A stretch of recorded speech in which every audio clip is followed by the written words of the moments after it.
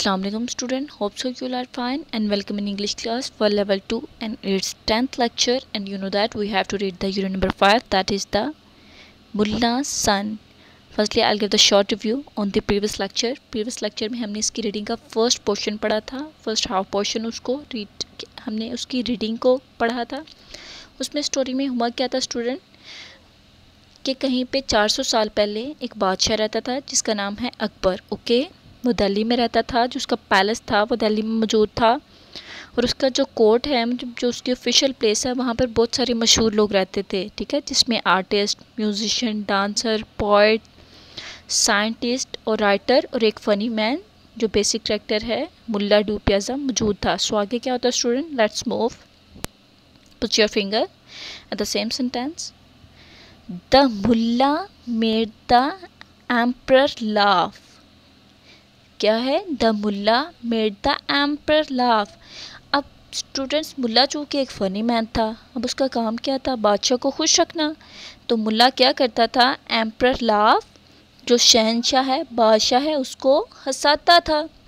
When the emperor was sad जब शहनशाह या बादशाह परेशान होता था अफसुरदा होता था ही कार्ड फाड़ द मुल्ला तो वो मुल्ला के लिए कहता था वेर इज़ माई फ्रेंड मेरा दोस्त कहाँ है? डू प्याजा डू प्याजा वो उसको डू प्याजा भी कहता था। Bring him to me now किसको? मेरे सामने अभी लाओ। ठीक है? बादशाह क्या कहता था? कि मेरा दोस्त डू प्याजा किधर है? उसको मेरे सामने लाओ। The servants in the court went off जो मुलाजम थे, जो मुलाजमीन थे कोर्ट में, अदालत में वो जाते थे इन आल डायरेक्शन हर तरफ़ कोर्ट के मतलब हर तरफ़, हर सीमत में जाते थे। सोन जल्द ही Mulla Do Piyaza was brought before the emperor जल्द ही जो मुल्ला डू प्याजा था, वो एम्पर मतलब बादशाह, शहनशाह के सामने लाया जाता। एंड वेरी सून और जल्द ही the emperor forget all his trouble और जल्द ही बादशाह अपनी तमाम मुसीबतें, तकलीफ़ें या परेशानियाँ भूल जाता था। He rolled about with laughter क्या student he rolled he rolled about with laughter कहते वो हंस हंस के लिपट जाता था। बेसिकली जब हम बहुत ज़्यादा हँसते हैं तो हम लिपटना शुरू हो जाते हैं। रोल्ड अपनी बॉडी को करना शुरू हो जाते हैं। तो इसी तरह बादशाह भी करता था। कहते वो हंस हंस के लिपटना शुरू हो जाता था। फिर नेक्स्ट क्या होता है student Mulla Do Piyaza really was a funny man कहते जो मुल्ला डू प्याजा था, वो एक बहुत ही मजाहिया आदमी था। Nothing surprise him and nothing shocked him nothing surprise him कुछ भी इसको, जो चीज़ थी या कोई भी चीज़ इसको हैरान को नहीं कर सकती थी या नहीं करती थी। एंड नथिंग शॉक्ड हिम और कुछ भी चीज़ उसको परेशान नहीं कर सकती थी, ठीक है? वो इतना मजाहिया था। He always had something to say कहते, इसके पास हमेशा कुछ ना कुछ कहने के लिए होता था। कहते he had a quick answer for any question वो क्या? वो हमेशा हर क्वेश्चन पर, किसी किस्म के क्वेश्चन पर फौरी आंसर देता था। क्लियर है स्टूडेंट नेक्स्ट क्या हुआ? वन मॉर्निंग अगली सुबह या एक सुबह, Mulla said goodbye to his wife Mulla goodbye कहता है, अल्लाह हाफिज़ कहता है अपनी बीवी को एंड सन और अपने बेटे को and went off to the court और अदालत चला जाता है एज़ यूजल ममूल के मुताबिक। ही सन इसका बेटा रफ़ीक, जिसका नेम क्या है? रफ़ीक हुआ सिक्स ईयर्स ओल्ड जो कि छः साल का है began to behave very badly कहते, जो उसका बेटा, जिसका नाम रफ़ीक है सिक्स ईयर्स ओल्ड का है, उसने क्या किया है? Began to behave very badly उसने बहुत बुरा बिहेव करना शुरू कर दिया है, ठीक है? बहुत बुरा रवैया अपनाना शुरू कर दिया है।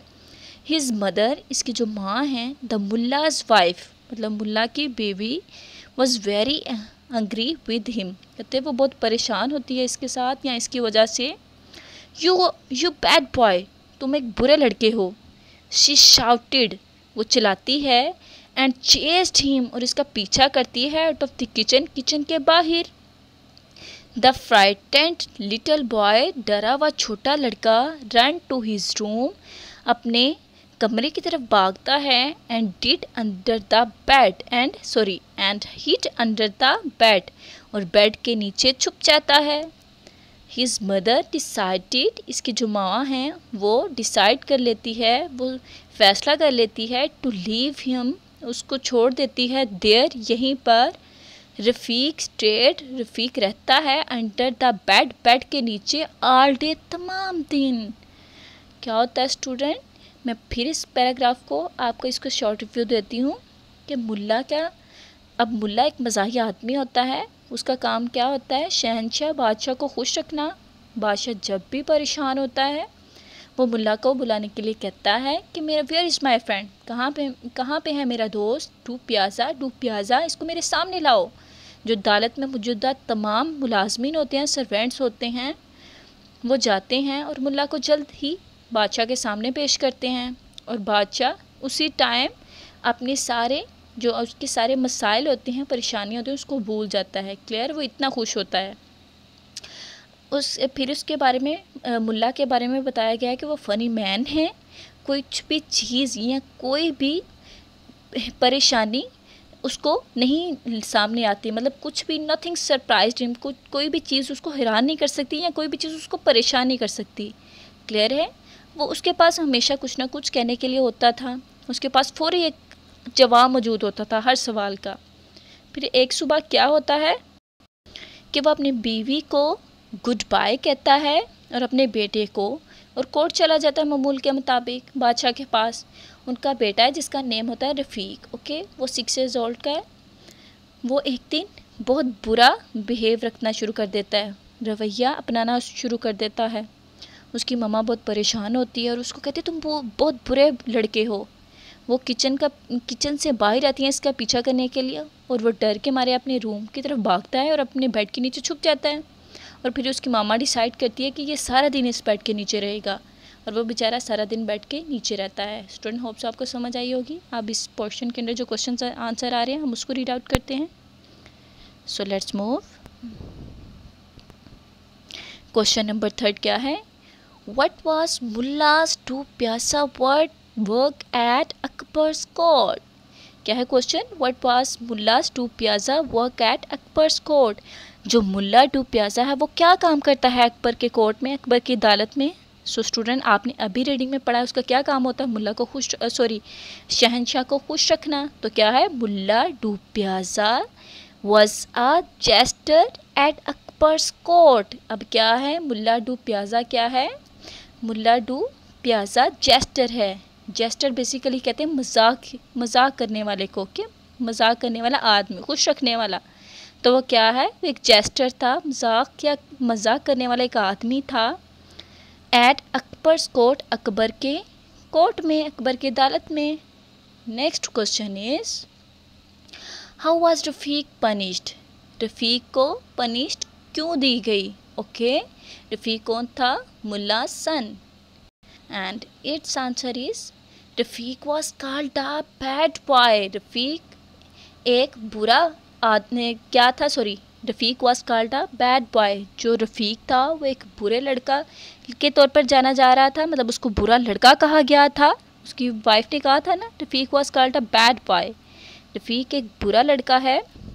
And chased out of the kitchen by his mother अब क्या था? उसकी मम्मा ने उसको कहा था you are bad boy you bad boy तुम एक बुरे लड़के हो। क्या रफीक को एक बुरा लड़का कहा गया था और उसका पीछा किया गया था किचन से? बाहर आकर किसने किया था? बाई हिज मदर, उसकी मम्मा ने। होप सो स्टूडेंट, आपको समझ आई होगा। So, next, mention a diary for you. Reading this portion and question answer, learn them and write on your notebook. Thank you.